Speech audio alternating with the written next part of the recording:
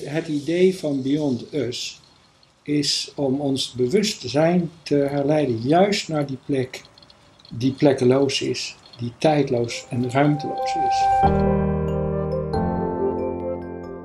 Dat is het niet duidbare. We weten nog steeds niet waar het bewustzijn zou resideren. Het bewustzijn resideert namelijk eigenlijk niet. Het kent geen plek, geen tijd, maar het is wel de aanjager van alles.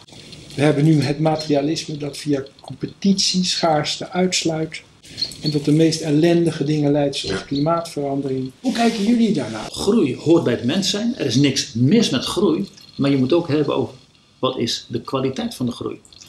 En groei gaat ten koste van iets of draagt het iets bij. Ja, Ik denk dat je zo moet eh, kijken dat groei mag de uitkomst zijn van een proces, maar niet een doel in Ik zichzelf. zie dat vaak wel bij reizen. Mensen gaan dan, hebben een week vrij en dan gaan ze dan vier dagen duiken op Bali. Ja. Dan moet je eh, heel lang in een stressvol vliegtuig zitten, twee keer op een luchthaven staan, wat eigenlijk niemand echt prettig vindt. En dan heb je die vier dagen nog net nodig om weer op een soort gelijk niveau te komen, terwijl je iets heel moois aan het doen bent. Ondertussen verwoest je de planeet Ja. en denk je helemaal niet na wat nou je echte geluk is. ja. Dus dat is ook zo interessant aan alles wat jij hebt zitten bedenken in je leven, Fred. Dat je eh, dat, dat voelen essentieel is voor alles wat je doet.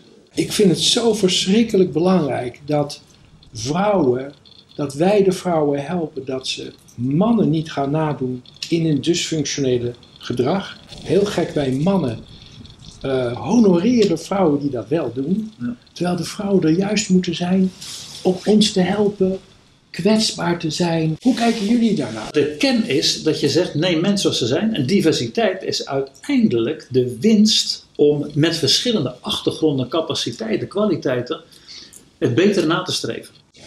En eh, wanneer je alleen eh, hebt over vrouwen, omdat eh, ze, je meer vrouwen moet hebben, zonder die kwaliteitsaspect, dan, dan zegt helemaal niks. Want dan blijf je in hetzelfde eh schabloon zitten. Vrouwen brengen uiteraard andere dingen mee dan mannen. Maar je hebt ook vrouwen met enorm goede mannelijke kwaliteiten. Je hebt mannen met enorm vrouwelijke dingen die ze niet laten zien. En samenwerken staat voor mij vast. Heb je absoluut nodig om verder te kunnen komen.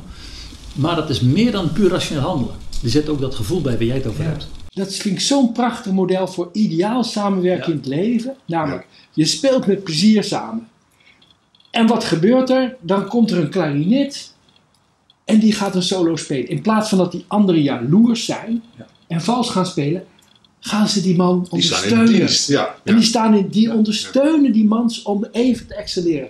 En dan valt hij weer terug in het orkest en dan komt de trompet op. En dan, Die vroegkindelijke dingen, ja. die, die verbinden en, en dat gevoel opleveren. Ja, daar gaat het om.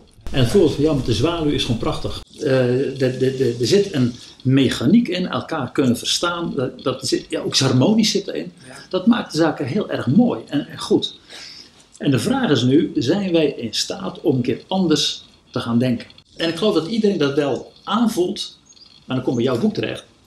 Dat betekent wel dat je de wil moet hebben om eens even te reflecteren. Waar zijn we nu mee bezig?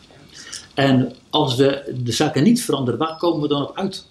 En je merkt nu dat na al die jaren van focus op groei en materie enzovoort, dat we ineens nu hebben over wat is het DNA van je organisatie?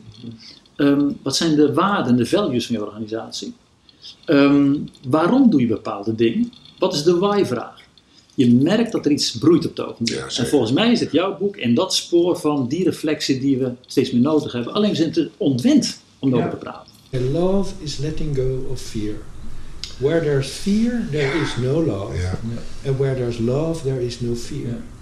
En als je dieper kijkt, als je dus met liefde naar de wortel van je angst durft te kijken, dan smelt je angst en is er alleen maar liefde. Fred, ik hoop dat een hele hoop mensen jouw boek gaan lezen.